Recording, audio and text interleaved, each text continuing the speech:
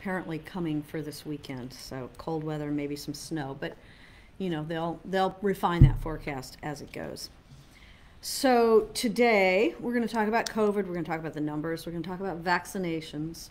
Um, and then we're gonna take your questions, whatever's on your mind. We're gonna talk, talk with you about that. So let me begin by talking a little bit about, um, the COVID numbers. They continue to be better. Um, yesterday, City of St. Louis had 69 new cases. Now, that's the highest it's been for a week. Our average number of new cases um, for the last week, though, has been 53 new cases a week in the city of St. Louis.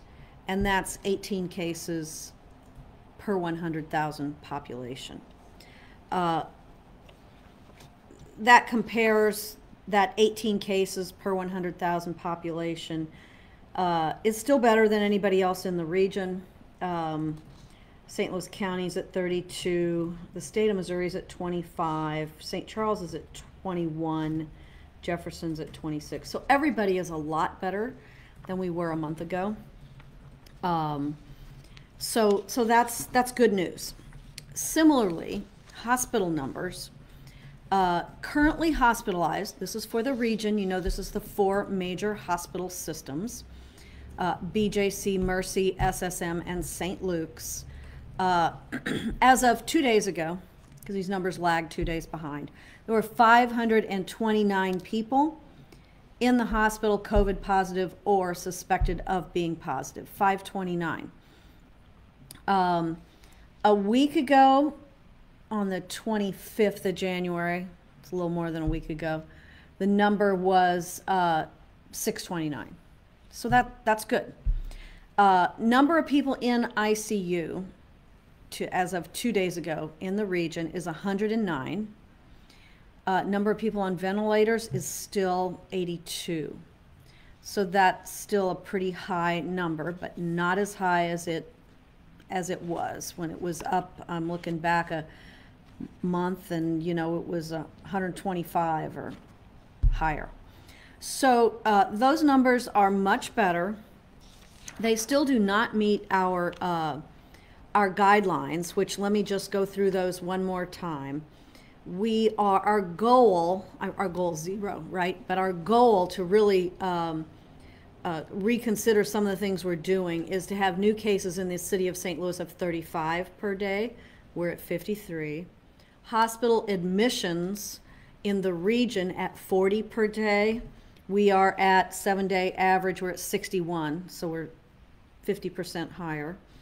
Uh, number of people in the hospital in the region, goal is 350. The, we're at 529 today. And the positivity rate, the goal is 5% or less. And today in the city of St. Louis, we're just under 8%. 7.8%. So um, we're doing uh, much better. Numbers are much better than they were a month ago. And, uh, you know, it's been a pretty steep decline. And I think, you know, people have just really, uh, when the numbers were so terribly high in December, end of November and in December, uh, and, and we had a lot of additional deaths. Um, so far in the city of St. Louis, we've had 353 deaths from COVID. And frankly, most of them occurred early on in COVID before the hospitals, before we had as effective treatment for it. But uh, so within this last uh, few weeks, the numbers have really improved significantly. So keep it up. Uh, you know, don't don't get together with your hundred best friends to watch the Super Bowl, please um, because we know that after every after every uh, sort of holiday or party time, there is an increase in cases. We hope that won't be the case this time. The other thing that we know is that right now the R naught, if you remember that term, is about 0.8. And um, so what does that mean? That means if the R naught is 1.0, that means one positive case of COVID infects one other person. So that's an even. That's not growing, It's not declining. The R naught right now, and this is from yesterday's meeting with the pandemic task force, uh, was reported at about 0.8. And so that's accounting for these numbers going down because people are not um, infecting so many other so many other folks. Um, so that's that's really it for the numbers. We still have hot spots uh, primarily in South St. Louis, and then one in the basically in the Central West End area. Those are densely populated areas in, in both cases. I'm looking to see if I have a map. I might not have that today, but yeah, I don't, I don't have it with me today, but uh, it's on our website. You can look at it there if, if you're interested in really seeing how that shakes out. So, um, numbers are better. Keep up the good work. Um, I, I think in the city of St. Louis, we have, uh, all of you are, are doing a pretty darn good job, and I know it's hard. Uh, and I know you are uh, ready to socialize and get out there with friends, but please just restrain yourself a little longer. Uh, because if we can keep these numbers going down, and if we can keep the number of vaccinations going up, which right now is way too low, but we'll talk about that, then we're going to have a situation where uh, hopefully without a big increase in any of the more contagious variants, perhaps we can really get a handle on this and get, get numbers back down. And, and therefore, get back to some sense of normal. I don't know that it'll ever be normal like you thought it was before, you know, before last March, but um, certainly better than what it's been for the last 11 months. So anyway, that is the numbers and happy to take any questions about those if you have them. Now, vaccinations. I'm going to give it to you straight. There's not enough. There just simply is not enough. The state of Missouri, the whole state, is getting 75,000 vaccinations doses a week. There's 6.2 million people in the state. They each need two shots, at least right now. So 75,000 a week is very low number. The St. Louis region, and this is bigger than what we usually think of as the region, it's the entire Highway Patrol Troop C geography. You can find that on the map if you want. But includes Farmington and includes Troy, areas that we don't always think of as being in our region. So the entire Troop C area is getting 38%, give or take, of that 75,000. That's based on population. So what does that mean that this Troop C region is going to get per week? It means around 28,000 doses. Of that 28,000 doses that we think this region will get per week. You know, the region's got two and a half million people in it, 2.4 million people in it. Uh, and we're getting 28,000. So you, you see the problem there. And of that 28,000, uh, a little over 50%, 53% is going to go to the major hospital systems. Um, and so that's 15,000 doses to them. That's good. The major hospital systems you know, they have a lot of patients, they have a lot of contact information. Um, it's likely that they, you know, they will roll out this vaccine. They have been rolling it out to to their patients that are old. Uh, and when I say old, I, they're really focusing on 75 and above, not exclusively, but uh, and who have some pretty serious underlying conditions. So. Uh, how much the city of St. Louis will actually get per week in terms of doses uh, is, is unknown. I mean, we just simply don't know. You know that last week, a week ago yesterday, we got 3,900 doses. We uh, vaccinated 4,498 people. So let's call that 4,500. So we we're able to get 600 extra doses out of those vials. Everybody knows that you can get an extra dose out of about every two vials. And I have to just give a, uh, hats off to the nurses. We had many nurses. Um, many of them, virtually all of them, were volunteering who who drew the the vials. You know, you'd see them with the with the vial turned upside down, drawing it out into the syringe, and so they are the ones that really uh, made that made that happen from 3,900 to 4,500. So we got that 3,900 doses.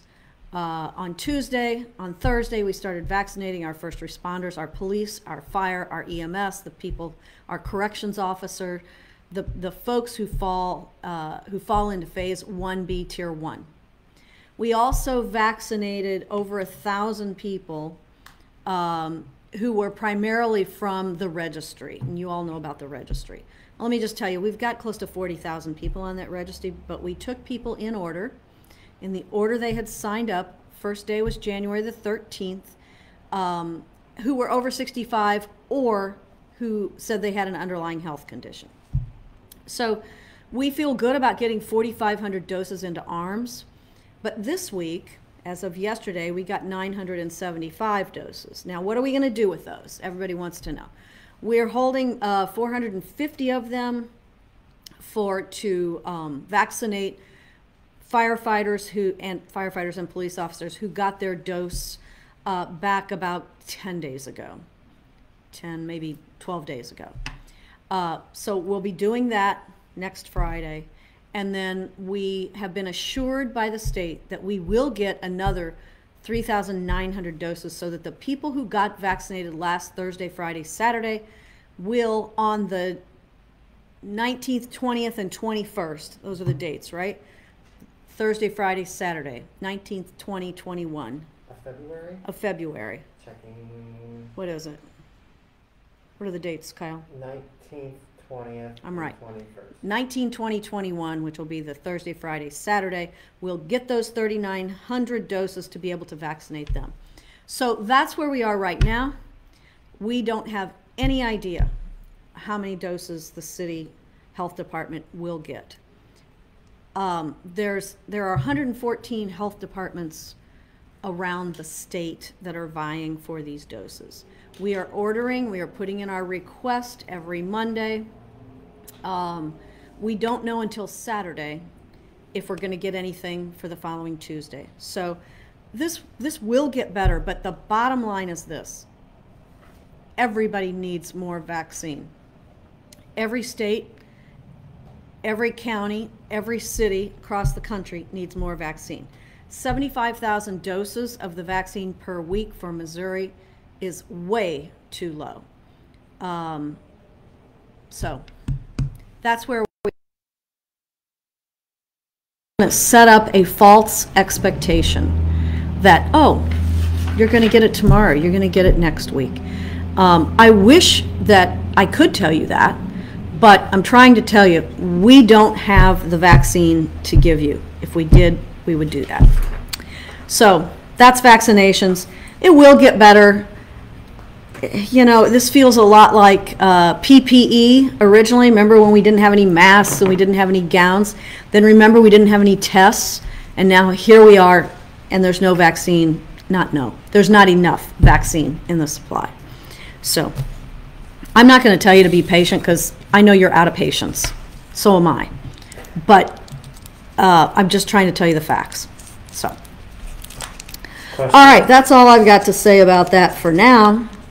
Questions? We have many questions about vaccinations today, Mayor. Okay, so Julie's question has to do with round two, which by the way is the 18th, 19th, 20th. Sorry Oh. about that. Okay. How confident are we from the state that we will have doses and that folks will be able to get their second booster shot? We have been assured in writing from the state that we will get those doses, Julie. We also got a question from Pat. If she is someone, or I shouldn't assume, if they are someone who got a first dose at Union Station, how do I know where I will go, when I need to go? What are the methods of communication that you'll be reaching out to me? Um, you put your email down on that sheet. We will reach out to you by email. You also put your phone number on, on the sheet, so we will reach out to you, uh, first by email, no doubt, because there's 4,500 people on that list. Um, and then we'll ask you if you're coming back, and then hopefully you'll reply. So That will be, um, today's what, the, the third? So we've got a couple weeks, and you'll, you'll get something several days before that. But you got a card when you got the vaccination. Hang on, I'm gonna grab mine out of my purse, I think. Yep, okay. So the card looks like this, and on the back of it, it tells you what day you're going to show back up. But you're going to get a reminder. Please don't lose your card. Uh, if, if you don't know where it is right now, go through your pockets, go through your purse, you know, wherever you might have stuck it, and find that card and bring it back. That is the quickest way, um, and, and we will communicate with you also.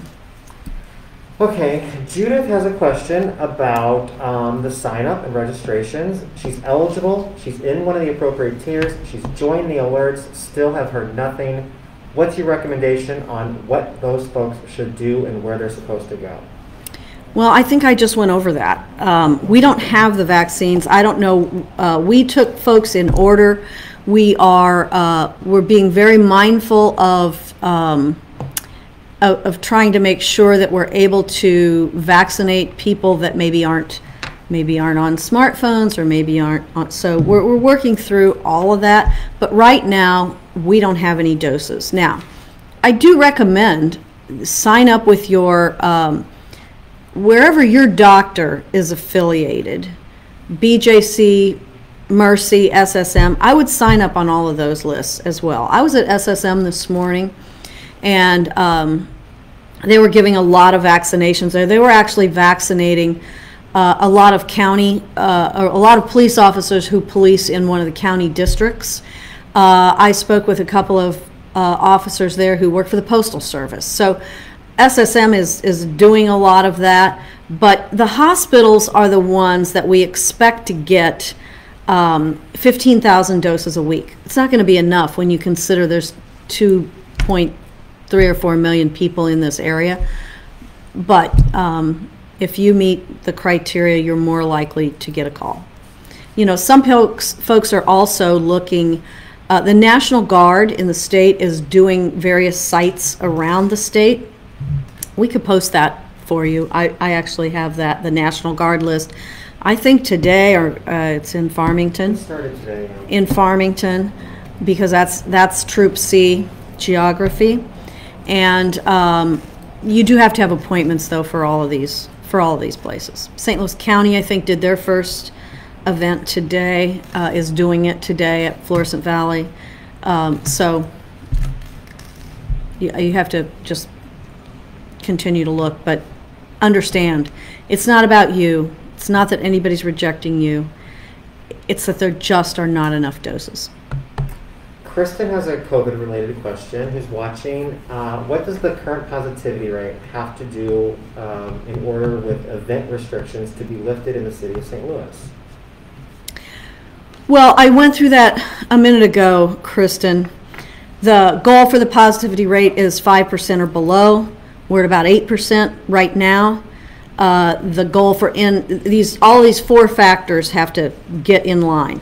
35 new cases in the city, 40 new admissions per day in the hospitals, fewer than 350 people in the hospital, and a positivity rate of less than 5%. So, um, you know, there, there are, um, it's not going to be like turning on the shower, all right? It's not going to go from off to full blast on. There'll be some phase in of that. Uh, we all want conventions here. Um, conventions are a very big economic generator for not just the convention center, but for the hotels, who, for the restaurants when people go out to eat, and, you know, have entertainment. So we all want the conventions to be able to operate again. Uh, but we also can't put 10, 20, 30,000 people jammed into a, jammed into a space. So I hope that answers your question. Uh, so based on the limited supply, Jeremy, Lydia, and some other viewers have submitted questions about additional tiers where teachers, uh, educational staff, other vulnerable populations, transit people are located. Are we any closer to getting there or no? No. We really are not. you know, I guess we're 4,500 doses in the city closer to getting there, but that's no place near close. So, look at the state's website. It's very easy to find this. We'll post it.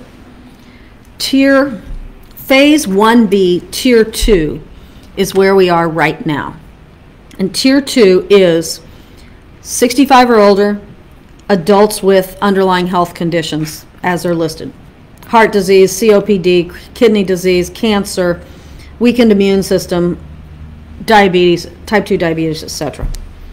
Um, that's where we are now. In the state of Missouri, two and a half million people who fall into that category or above out of six million, so 40% of the people. Um, so we have a long way to go. And when you think about at 75,000 doses a week in the state, goodness, that's weeks and weeks and weeks before, before we're through those people. The supply has to increase. It's, it's that simple.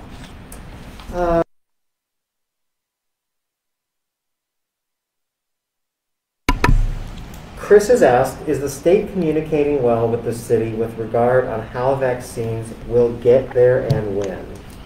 Well, I don't think the state is withholding information. I think they don't know. They've got 75,000 doses a week. They, they just really found out that that was going to be their, um, their number in the last week or 10 days.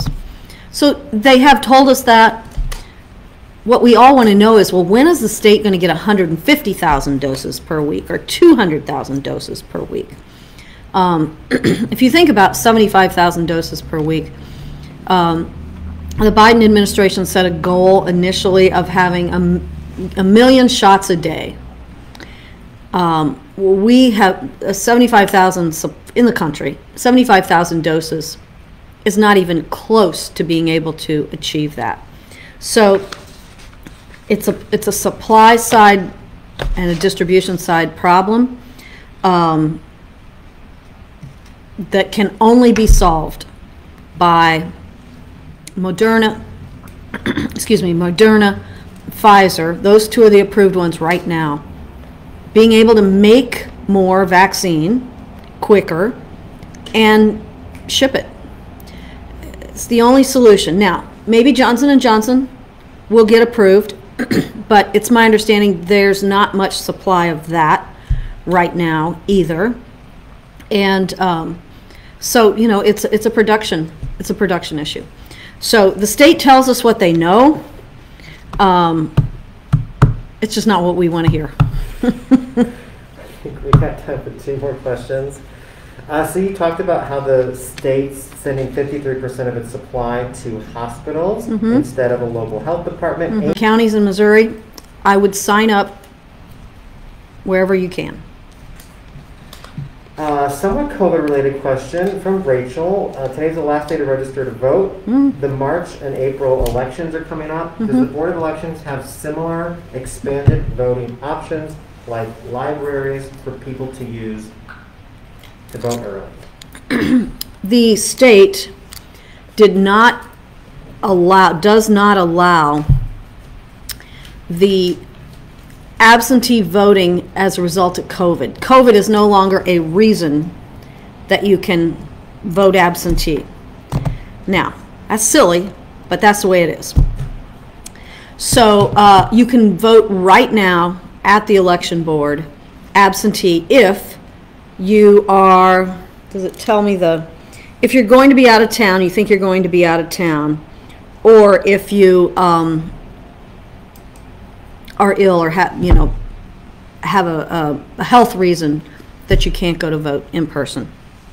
So, um, I don't think they have libraries, do they, this time?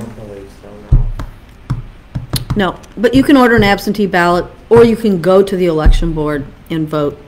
Um, It's my understanding that uh, it has not been very crowded over there. So if you know who you're going to vote for, and you know that you have a health condition where you don't want to be out uh, at a polling place, then go to the election board and vote early. Okay. That's it. That's it. It's 2:30, guys. Thank you so much. Appreciate you being with us. Um, Thank you for your patience, if you have any. Uh, And I, I understand if you don't. We will, we are doing this three times a week. It's been almost a year since we have been doing Live with Lyda's every Monday, Wednesday, and Friday. We've missed a few Fridays or a few meetings here or there.